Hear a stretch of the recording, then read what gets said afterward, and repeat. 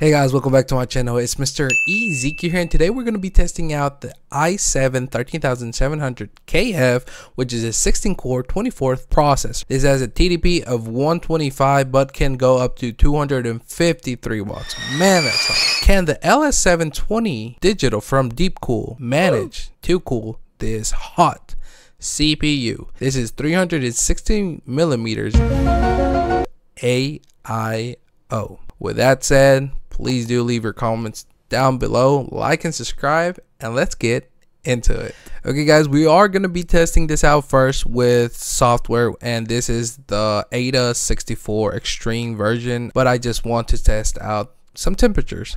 At the top is the temperature and at the bottom is the load on the CPU. With that said, let's click start and explode this processor. Okay. Okay, it's been three seconds and it's detected overheating. Oh, that's not good. It went from 41, 42 degrees Celsius to 91.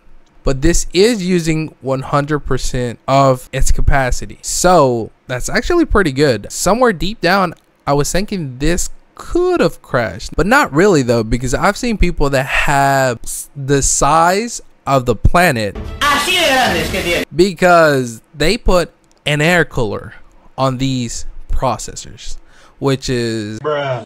I don't know what to say. But it's been two, three minutes that we are benching it, and now we have four percent overheating detected. But it does not go up from 93, 9, oh, oops, jinx myself. It's at 95 degrees Celsius now. Can you guys hear that? The cooling fans are working at 2300 RPM revolution per minute. I can feel the air coming out. Oh, and it's coming out warm. Ooh, goodness, goodness, goodness. Yo, yo, yo. That is not that is not the way you really want to do to your processor, but for the sake of YouTube, we're doing it. Over here we have the current, the minimum, and the maximum temperatures. It's it's at 95 currently. The minimum was 45 a while ago, and its maximum right now is 96. Its average is 84. So that might give you a good idea.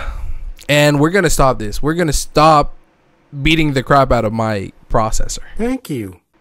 you guys can see it dropping from 66 like a mere seconds now at 50 49. Okay, it's going to take a little bit to cool off. It's kind of mad at me.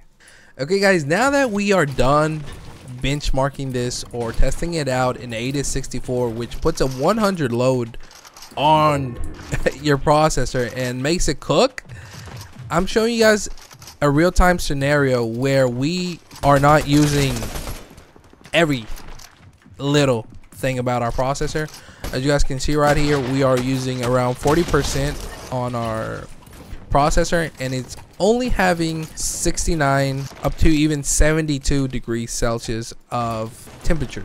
And why is that? The reason behind this is because let's be real guys, you guys will not always be using 100% of your processor.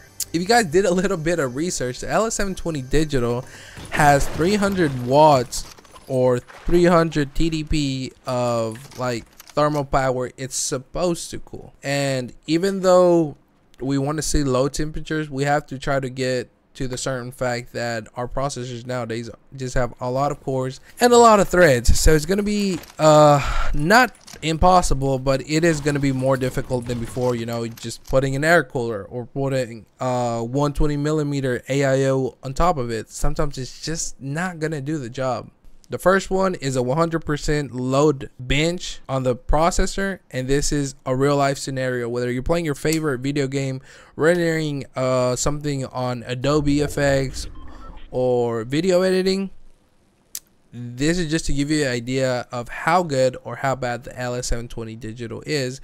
And I want to know your opinion, so please leave it down below of the video. And see you guys in the next video.